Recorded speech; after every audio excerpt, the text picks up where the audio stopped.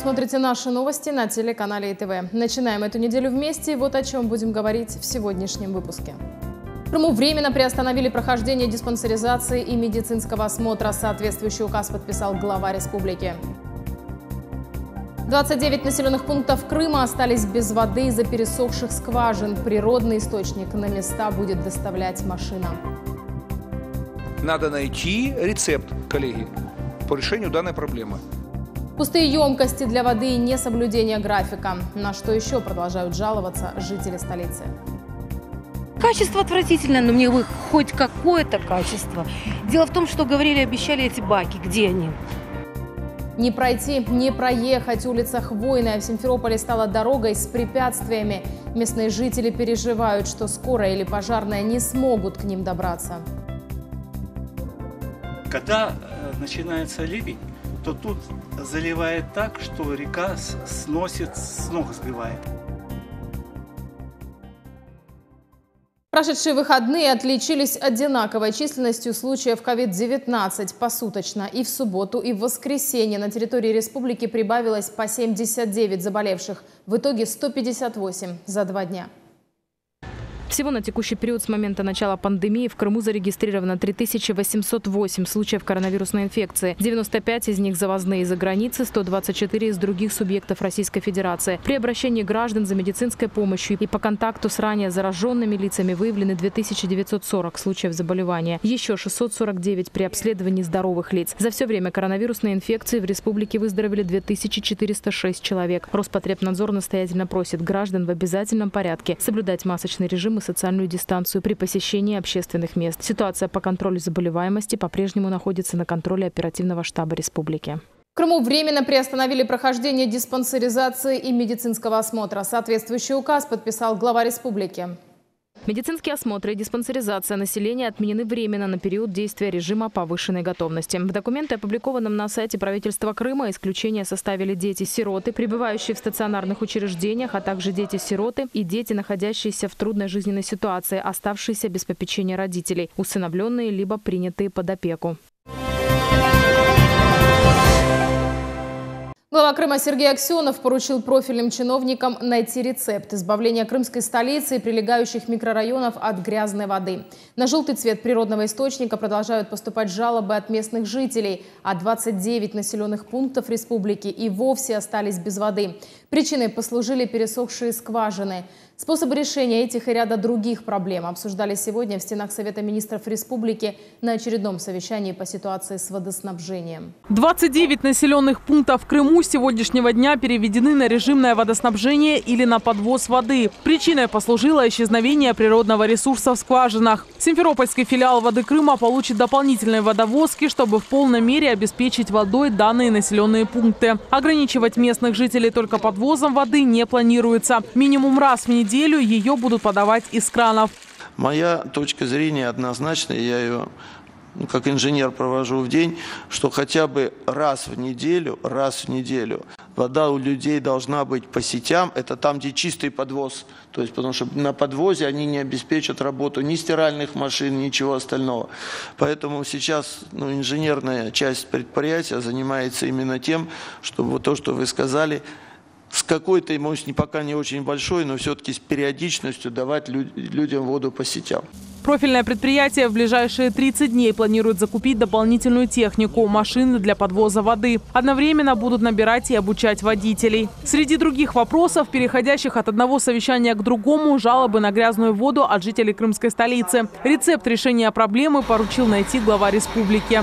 Но у нас обращения ж по грязной воде есть, Да. коллеги, и не сняты до сих пор. То есть поэтому давайте хотя Но бы в это такой будет- ситуации, что струйка тонко идет, только так хоть не ржавой, надо найти рецепт, коллеги, по решению данной проблемы. Я лично, еще раз говорю, ситуацию, проблему не вижу. Я имею в виду, все понятно, почему это происходит. Давайте найдем техническое решение. Все обращения по качеству воды Сергей Аксенов поручил рассматривать в кратчайшие сроки. Сама работа по устранению проблемы должна проводиться совместно с управляющими компаниями. Тем не менее, избавиться полностью от грязной воды в кранах симферопольцев, по словам руководителя воды Крыма, не получится. Среди других жалоб от местных жителей низкое давление, из-за которого вода не поднимается на верхние этажи. Таких домов в крымской столице 45. Мы понимаем всю эту ситуацию, довозим воду, курсируют м, водовозки. Ну, конечно, людей не устраивает, они очень просят, потому что мы общались лично, просят о том, что даже если эта вода будет час-два в сутки, то м, хочется, чтобы она была из крана, чтобы можно было вымыть себя и детей. Вы, и вы так имеете в виду верхние этажи? Верхние этажи, совершенно верно. Заканчиваем врезку в систему водоснабжения в подвальных помещениях. Ставим водозаборы для того, чтобы людям было удобнее набирать в подвале да, и подниматься. Понимаю, что все равно некомфортно, но тем не менее это ближе, э, чем набирать э, с емкостей. Подавать воду в эти дома глава Крыма поручил вне графика на полтора-два часа, чтобы местные жители успели набрать необходимое количество H2O. Мария Моссур, служба новостей ИТВ. Водный кризис в Крыму напоминает о себе все чаще. Во многих районах Симферополя не соблюдается график подачи воды, хромает ее качество, а в установленных рядом с жилыми домами емкостях воды и вовсе не бывает. Что думают о жизни без воды симферопольцы, знает Татьяна Ополева.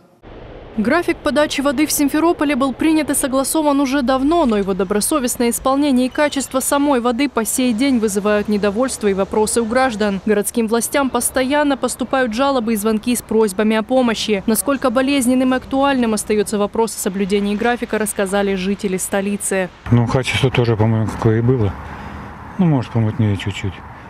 А так вот с 9 отрубают и до 6 вечера. С утра, когда встанешь, до 9 надо бегом-бегом, а потом до 6 ничего не делаешь. Ну, так воды наберешь там пару-тройку баков. Соблюдается, да. Только вот вчера включили, и она так плохо шла. Еле-еле-еле. Вот только вчера. А так в- включают и нормально. Как ни странно, вопрос о регулярной подаче воды не беспокоит только тех, кто обосновался в частных домах или на первых этажах многоквартирных домов. До тех, кто живет наверху, вода и вовсе не доходит. Вчера вообще не было, восьмой этаж, восьмой этаж. Вообще не было воды, на, на верхний даже не доходило. А сегодня в 7.20 ее уже не было. Краника не попьешь. Через фильтр, ну, осадочки на донышке. Отключают ежедневно. Дают утром и вечером, да. Поначалу бежала отвратительная, с запахом таким страшным и мутная. Сейчас вроде бы ничего, ну вот, ну вот никак не впишемся в график. Просыпаешься, не успеваешь даже ни посуду помыть, э, ничего. Не убрать с утра, потому что детей в школу пока отведешь, пока приготовишь, потом приходишь, все, воды больше нет. Жители многоэтажного дома на проспекте Победы устали жаловаться на грубые нарушения графика и грязную воду. Было с 6 до 9. Сейчас 6, если дадут, всем уже отключают. Все. И струечка такая, что извините. Тоже грязная. Грязная вода идет. Уже стараемся так, чтобы слить ее, потом уже набираем там на питание. Елена Новикова живет на девятом этаже, и в ее квартире воды вообще не бывает. Она ежедневно обращается за помощью в городскую администрацию и звонит на горячую линию предприятия «Вода Крыма», но решать проблему чиновники пока не спешат. Да качество отвратительное, но мне бы хоть какое-то качество. Дело в том, что говорили, обещали эти баки. Где они? Баки не установлены. Вчера э, на девятом я жалуюсь, а вчера еле до пятого доходила. Проблема серьезная. Вопросы вокруг емкостей для воды тоже не угасают. Еще вчера симферопольцы жаловались на грязную воду в баке на улице Лизы Чайкиной. Сегодня ее там и вовсе нет. Сколько еще времени понадобится для того, чтобы график подачи воды по крымской столице наконец-то стабилизировался и отлаженно исполнялся, неизвестно. А пока вопросов остается куда больше, чем ответов. К слову сказать, надежду на решение водной проблемы пока никто не дает. Татьяна Ополева, Евгений Стариков, служба новостей ИТВ. С 21 сентября в налоговую инспекцию граждане могут попасть только по предварительной онлайн-записи. Такие меры приняты с целью профилактики распространения коронавирусной инфекции до особого распоряжения.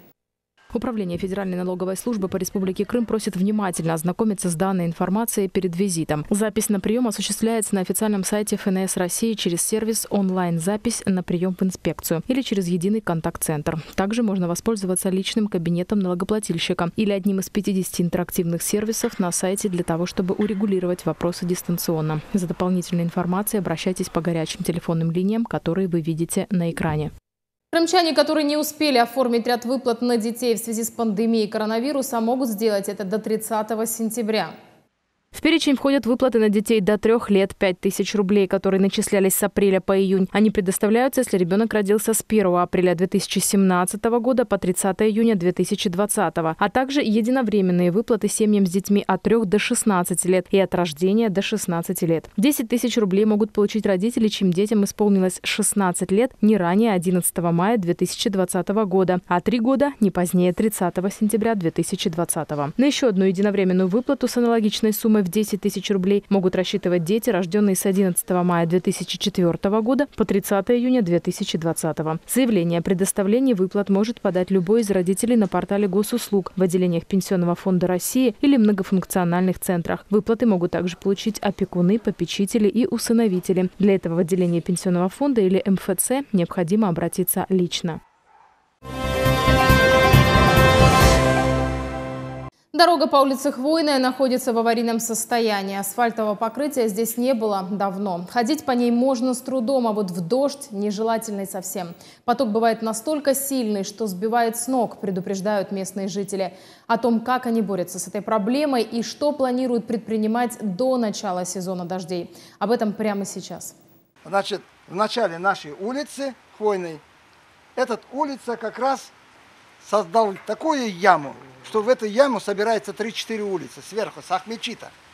Эта вся улица объединяется в одном месте и идет по нашей улице до самой седьмой горбольницы. Множество камней, грязевые потоки, образование больших ям – все это привело дорогу по улице Хвойная в плачевное состояние. Такое она была на протяжении многих лет, и даже ремонтные работы не исправили влияние погодных условий. Для жителей частных домов ливневые дожди стали испытанием с приходом весны. До своего дома добираться проблемно и пешком, и на машине. Жить в домах тоже становится нелегко, ведь во время дождей вода, стекая сверху с района Ака-Мечеть, затапливая дворы и подвалы. Как нам построили новый дом, новую, э, новую улицу построили. Э, красивую, хорошую дорогу, конечно, построили с двумя сторонами, тротуаром. Очень красиво мы обрадовались. Но пришла весна, как дожди пошли, у всех дома, в том числе и у меня, и у соседей, все подвалы наполнились водой. Невозможно вообще э, ни машины не заезжать. Уже полгода у меня машина на улице стоит. Экстренные службы города с трудом добираются в этот район. Порой им приходится оставлять служебный транспорт на ближайшем асфальтированном участке и пешком добираться по вызову. Некоторые службы и вовсе по несколько недель могут не приезжать. Например, житель одного из домов был вынужден перекрыть улицу мешками с мусором. Спустя несколько недель их, наконец, вывезли. Люди живут взрослые, Кому-то надо скорую помощь, кому-то еще что-то. Какие-то ну, службы должны подъехать, газовые. Мы никто ничего не можем сделать. С параллельных дорог подъезжаем, но это не везде возможно и не всегда возможно. Конечно, это ужасное состояние, и то, что вот никак на нас внимание не обращают и не могут нам помочь ничем, это обидно. Но, как оказалось, аварийное состояние дороги не единственная проблема на улице Хвойная. Здесь также отсутствует освещение, что становится проблематично для тех людей, кто возвращается домой в позднее время. Освещения вообще нету. Ночью вообще здесь можно ноги поломать. И не здесь не освещение, не, не там, где даже стоят фонари. Вот если по центральной дороге вы будете ехать, там стоят фонари, они никогда не освещаются, не работают. Жители домов не раз обращались коллективно к властям с просьбой решить эту проблему. Представители администрации Симферополя приезжали и обсуждали с местными жителями дальнейшие действия. Однако пока вопрос до сих пор остается нерешенным. В этом году я написал прокурору Центрального района, и в ГИБДД. Значит, пришел ответ от прокурора Центрального района, что мое письмо направлено. Да, действительно, они проверяли здесь, что страшное положение. Они направили для решения э, в администрацию города Симферополя. Тот же самый ответ пришел государственной инспекции. Люди хоть и не перестают отчаянно ждать ремонт дороги, но все же стараются справляться с непогодой своими силами. За собственный счет они вынуждены ставить бордюры и ограждения высотой примерно в 60 сантиметров. Что ждет дорогу в дальнейшем и будет ли на улице Хвойная когда-нибудь праздник, об этом мы спросили в столичной администрации. Продолжение истории смотрите в следующих выпусках новостей. Эльвина Зарипова, Артур Чалый, служба новостей ТВ. Главным управлением МЧС России по Крыму на ближайшие несколько дней объявлено штормовое предупреждение. С 22 по 24 сентября в западных, центральных, южных и восточных районах республики сохранится чрезвычайная пожарная опасность. Отметим, с начала апреля на всей территории Крыма установлен особый противопожарный режим. На время его действия жителям и гостям полуострова запрещается посещение лесов, ограничен въезд транспорта в лесные массивы. Кроме того, вводится запрет на разведение костров, сжигание мусора и травы на придомовых территориях. К нарушителям применят штрафные санкции от 2 до 400 тысяч рублей. По данным ведомства, в Крыму с начала года зафиксировано более 3 тысяч пожаров. Большая часть связана с возгоранием сухой травы и растительности. С начала года на территории Республики Крым зарегистрировано 3177 пожаров, э, из которых 2166 – это загорание сухой травяной растительности и камыша. В лесном фонде на территории Республики Крым произошло 95 лесных пожаров. Э, По сравнению с прошлым годом цифра увеличена практически в два раза. В прошлом году было 55 лесных пожаров. Основная причина пожаров – это человеческий фактор, неосторожное обращение с огнем. Это все новости на сегодня. Спасибо, что были с нами. Я прощаюсь. Всего вам доброго.